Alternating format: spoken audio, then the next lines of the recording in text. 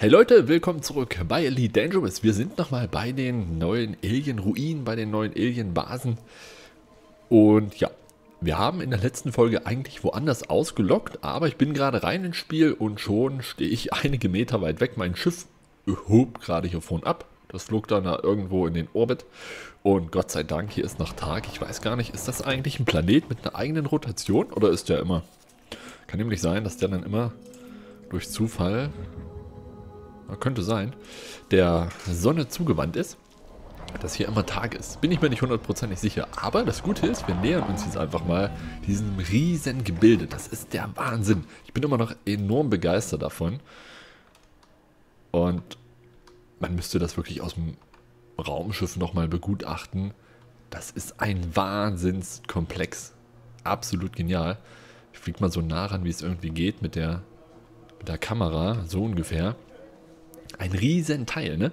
Und am liebsten würde ich mir ja die anderen auch noch anschauen. Aber kann mir da vielleicht von euch jemand sagen, denn ich habe mir keine weiteren Fotos oder Videos dazu bisher angesehen oder überhaupt dazu gesehen, ob die anderen ähnlich aufgebaut sind. Ich vermute fast, dass die vielleicht alle gleich aussehen. Kann das sein? Oder es gibt ja auch bei den anderen Ruinen... Sorry, ich habe von Alien-Ruinen gesagt, ne? Ich meinte natürlich die Targoiden-Basis. Oder was auch immer das sein soll. Sieht für mich auch teilweise aus wie so ein, weiß ich nicht, Riesenwrack von irgendwas. Jedenfalls, äh, kann mir jemand sagen, ob die anderen vielleicht tatsächlich einfach auch anders aussehen oder oder ob die wirklich alle gleich aussehen. Bei den Alien-Ruinen jetzt wiederum, da gibt es ja dann doch verschiedene. Da gibt es dann die Alpha, Beta, Gamma-Version, die dann alle einen anderen Aufbau haben.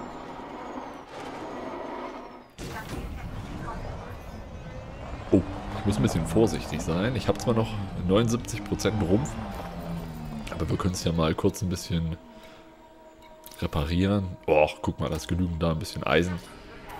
Kann ich demnächst mal wieder mitnehmen. Wie viele Materialien habe ich denn? 917. Na gut, ein bisschen Platz ist noch. So, dann fahren wir doch mal hier hoch. Ich bin gerade wieder in der LD Gruppe unterwegs. Ich denke, man sieht es, oben ist ein bisschen was los im Chat unterhalten sich gerade zwei. So, dann düse ich nochmal hier hoch. Da haben wir nochmal einen schönen Ausblick vom Rand. Hm, ja, so ungefähr. Ich fahre nochmal hier hoch.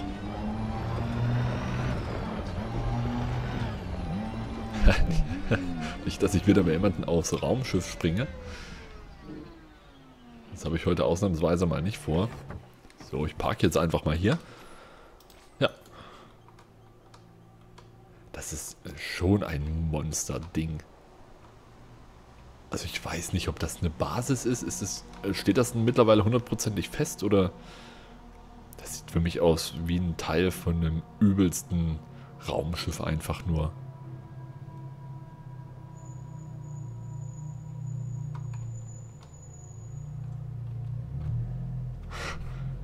Weiß gar nicht, was das für eine Form sein soll.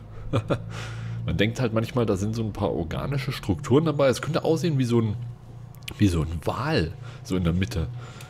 Ich meine, hier vorne liegt dann noch so ein, wie so ein Gerippe rum. Ringsrum diese ganzen Zacken. Was halt auch aussieht wie, ja, weiß ich nicht, wie, wie die Wirbel oder irgendwie sowas. Also ganz merkwürdig, aber trotzdem irgendwie total fantastisch. Huch, ach, geht schon runter. Gut.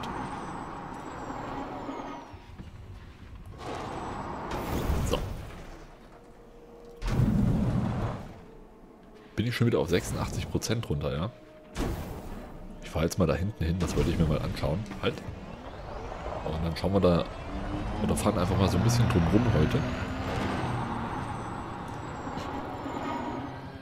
Die anderen sind halt nicht so weit weg. Ne? Ich hatte mir eigentlich erst eine andere Basis rausgesucht. Und ich bin dann zu der hier hingeflogen gestern. Weil halt im deutschen Forum auch da die Rede von war, dass hier ein paar wohl sein sollen. Und das war ja dann auch so, ihr habt es ja gesehen, da waren einige vor Ort. Und gerade auch mindestens zwei.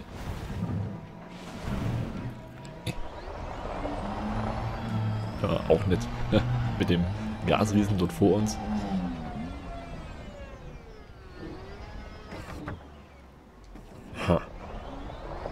Tja.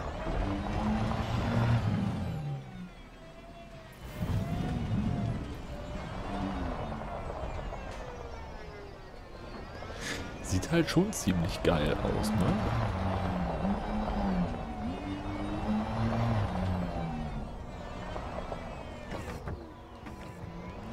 Sieht halt schon meiner Meinung nach eher ein bisschen organisch aus. Die ganze Geschichte. Da ist wieder so ein Scavenger.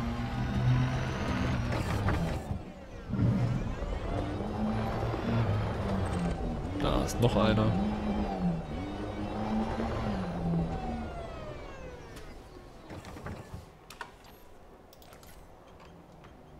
Ach, guck mal. Ach. Hey, mach mal weiter. Was machen die denn hier? Was ist das denn?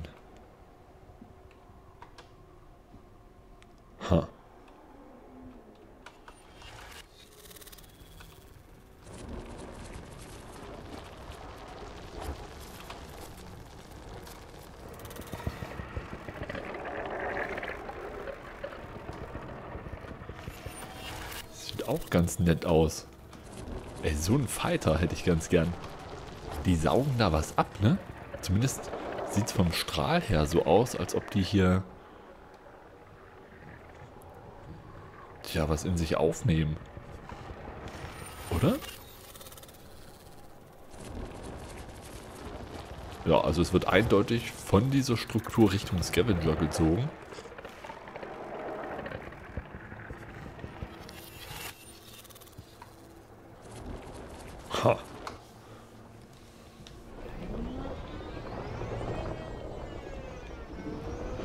Kann man mit Sicherheit relativ einfach abschließen, aber das mache ich nicht. Ich lasse die in Ruhe. Ich möchte es mir nicht als erster verderben mit den Tagoiden. Falls die hier, die beobachten bestimmt aus sicherer Entfernung das Treiben der ganzen Commander hier vor Ort. Das ist aber auch riesig, ey. Ben Wolfmann fährt da hinten noch rum.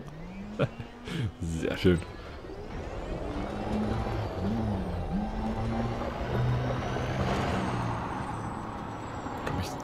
Nee, da oben komme ich nicht raus. Oder? Nein, nein, nein, nein. Oh oh. Uff.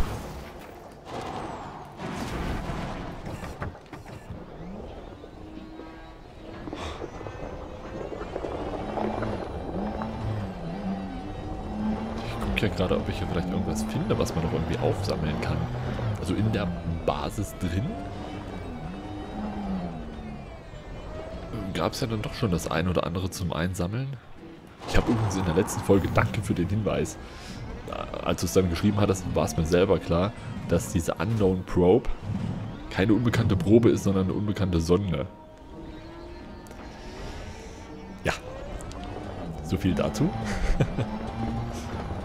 Falls sich da noch der ein oder andere gewundert hat, was denn eine unbekannte Probe ist. Ich meinte damit die unbekannte Sonde.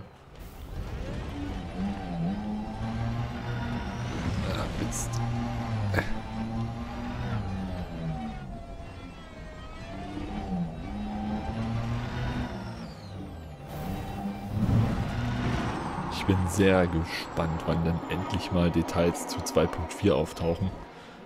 Beziehungsweise wie das dann hier alles weitergeht noch. Und vielleicht tatsächlich neue Waffen. Oder halt ein speziell... Ich vermute fast, dass ein spezieller Ingenieur auftauchen wird. Der sich der Sache dann halt annimmt. Und man vielleicht neue Waffen bekommt. Oder bekommen kann. Oder Waffen upgraden kann mit einem bestimmten Effekt bei dem, damit die dann vielleicht was ausrichten können oder wie auch immer. Ich finde es auch mittlerweile ganz gut. Eine Weile dachte ich, ja okay, das dauert doch schon alles sehr, sehr lange, bis da mal was Neues geschieht mit den Targoiden oder überhaupt mit den Aliens. Das ging ja immer alles sehr, sehr schleppend vor sich, aber trotzdem gerade dieses, diese Alien-Ruinen, dieses Puzzle dort zu lösen, das hat ja ewig gedauert. Da haben ja viele Leute auch aus dem deutschen Forum mitgemacht. Ich habe das alles... Achso, das ist eine ASP. Ich habe das alles mitverfolgt, aber selber nie Zeit gehabt, da wirklich mich mit auseinanderzusetzen. weil das schon enorm viel Zeit in Anspruch nimmt. Genauso die Geschichte hier wieder. Aber mittlerweile muss ich sagen, finde ich es find echt okay. So wie die das implementieren. Immer noch ein bisschen mehr, noch ein bisschen mehr. Achso, das ist auch wieder ein Scavenger.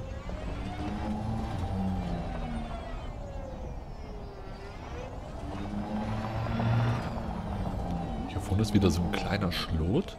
Da ist auch so ein großer, da fahren wir gleich mal hin. Das ist die Stelle, da parken manche ihre Raumschiffe kopfüber drin. Habe ich mal auf dem Bild gesehen. Das sieht ganz witzig aus. Bloß mal was testen. Huch. Moment. Prallt alles ab. Seht euch das mal an.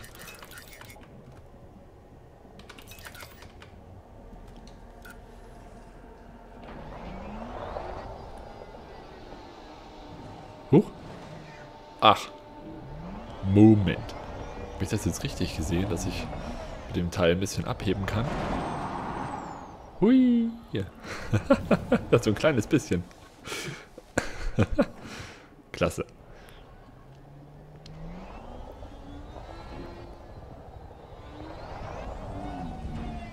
Hui. Was haben wir denn da unten? klebt aber was Großes dran.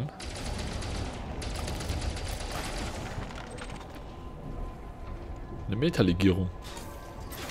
Eine. Bringt relativ viel Geld, wie ihr seht. Und die kleinen. Da kommen ja dann gerne mal so kleine Sachen raus. In dem Fall Chrom einmal ja, lass ich mal liegen, kann für mich aus jemand anders mitnehmen. Somit fing das ja alles mal irgendwie an, ne? Diese Barnacles, also hier, das sind diese organischen Strukturen plus diese Metalegierung. Da ging das so ein bisschen mit los. Eisen, ja doch. Das nehme ich mal mit. Was halt so die ersten Strukturen waren, mit denen dann man was anfangen konnte. Wen haben wir denn hier? Ryan Barrel? Nicht Hupe. oh, ein gelber SAV.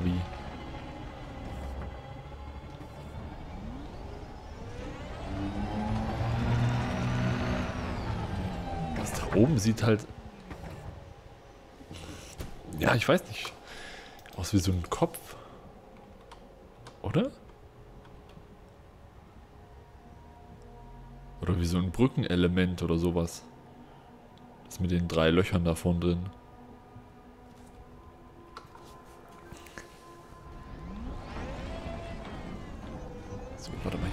War doch das Teil, was ich gerade meinte. Ach so, ah. Doch, da sind wir doch letztens noch rein, gestern. Da hat uns ja jemand die Tür aufgemacht. Ich möchte jetzt aber mal hier hoch. Ah, war das zu schnell? Nö, geht. Ups. Huch, huch. Das spielt direkt wieder alles ein bisschen verrückt, wenn ich mich dem hier näher. Okay.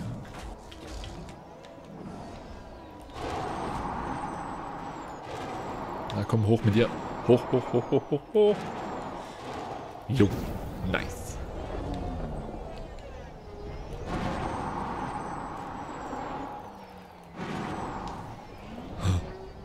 Komme ich da rein mit einem kleinen Buggy? Ich meine, zu verlieren habe ich ja nichts, ne? mein Licht ist schon kaputt. Okay, also das verursacht auf alle Fälle eine ganze Menge Störung.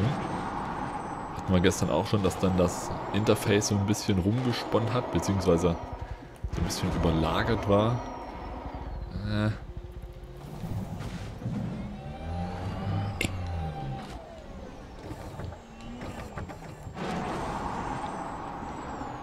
schon.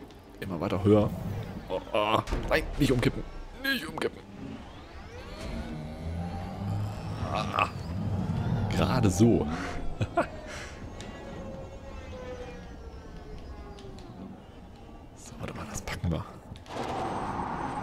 packen wir schon irgendwie.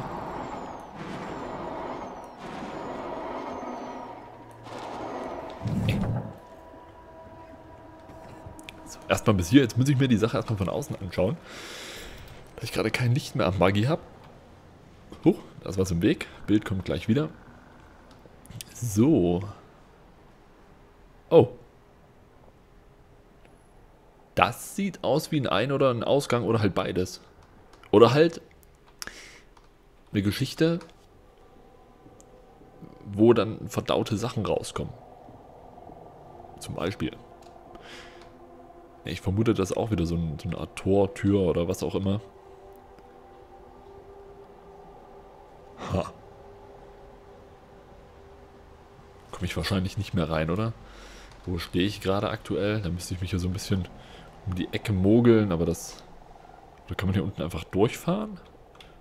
Ja, das passt von der Größe, glaube ich, gar nicht. Ist mir jetzt egal, wir probieren das jetzt trotzdem. Mist.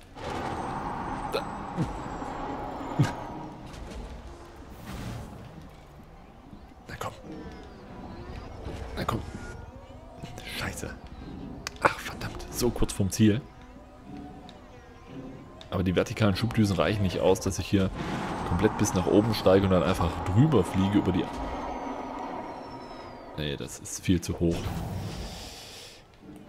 So, warte mal. Ich fahre mal zurück, dass wir hier wieder rauskommen. Huch. Junge, Junge. Äh. Auf alle Fälle sehr geil gemacht, ne?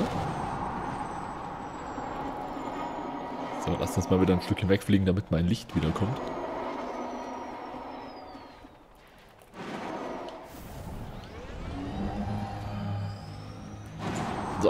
kommt es langsam wieder.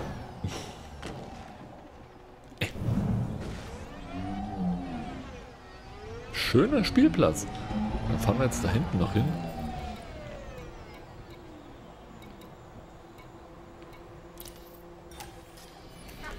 So, repariere ich den Buggy nochmal. Ich habe bloß einen mit in der Anaconda. Deswegen gehe ich da jetzt lieber mal auf Nummer sicher, falls doch nochmal was Dummes passieren sollte. Und wer meine Fahr- und Flugkünste mit dem Buggy kennt, weiß, dass das relativ schnell gehen kann. So zum Beispiel.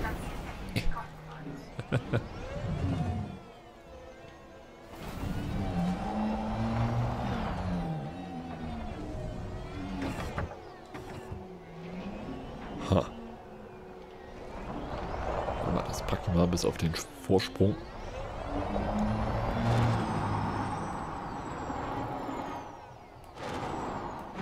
Ach, guck mal, hier bauen, hier bauen die das auch so ein bisschen ab. Da hinten links hatte ich es gerade gesehen. Erstmal bis hier drauf, wunderbar. Ich habe das Gefühl, das treibt mich ein bisschen weg. Davon. Da ist wieder so ein Scavenger. Der entzieht dem der Struktur auch wieder irgendwas. So sieht es zumindest aus.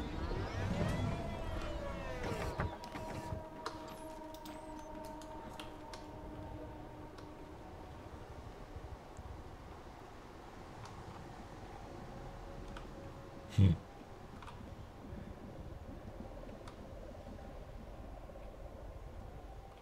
Das könnte echt zu einem Schiff gehören, oder? Ich komme nicht drum rum, da unten sind wir.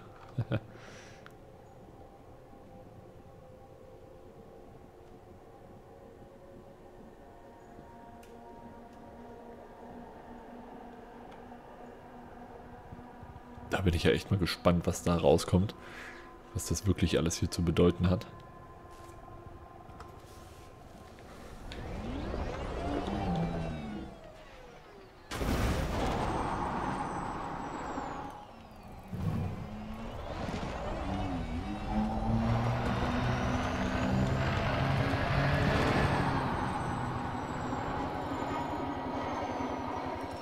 Ach du Scheiße, hier ist ja noch mehr.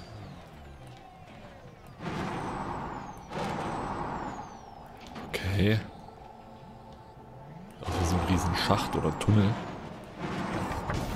Achso, das ist glaube ich die Struktur. Durch die wir vorhin schon durchgefahren sind, oder? Oder äh, zumindest... Ja, so ähnlich. So ähnlich vielleicht.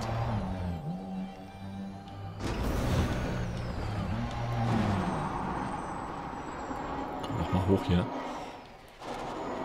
Ja, komm.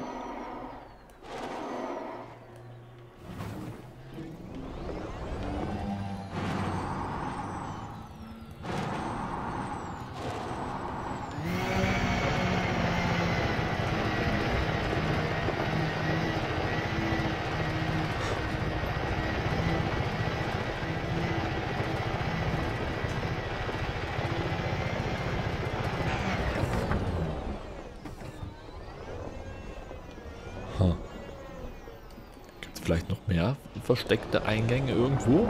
Außer dort in der Mitte?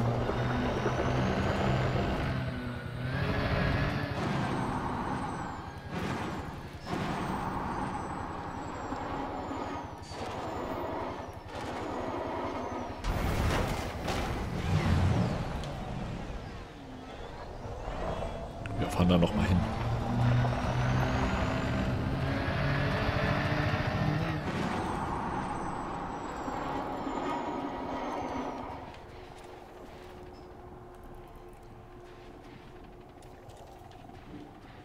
So, wir fliegen da nochmal hin.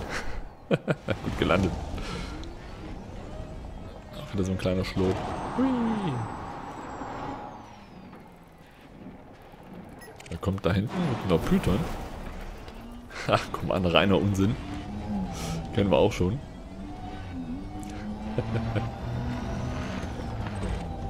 das ist auch wieder eine kleine organische Struktur.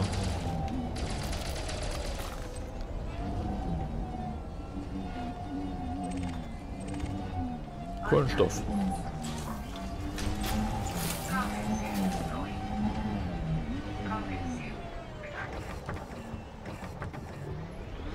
Ja gut. Irgendwie, wie gesagt, mit den beiden unbekannten Sachen kann man die Tür öffnen oder halt von drinnen möchte jemand raus, dann öffnen sich ja die Türen auch, so wie gestern. Na gut, haben wir hier nochmal eine Runde gedreht. Ich gucke nochmal, ob ich nochmal ein paar Infos zusammenkratzen kann oder ihr schreibt die mir vielleicht auch schon unter das andere Video. Das weiß ich gerade aktuell während der Aufnahme noch gar nicht. Und ja, dann schauen wir mal. Ich denke mal, das geht dann vielleicht morgen erstmal mit dem neuen Tutorial weiter. Höchstwahrscheinlich. Und ja gut, war es das für heute. Haben wir uns nochmal die Alien-Ruinen angeschaut. Ich bedanke mich bei euch fürs Zusehen, wünsche euch noch einen schönen Tag und haut rein bis zum nächsten Mal. Ciao.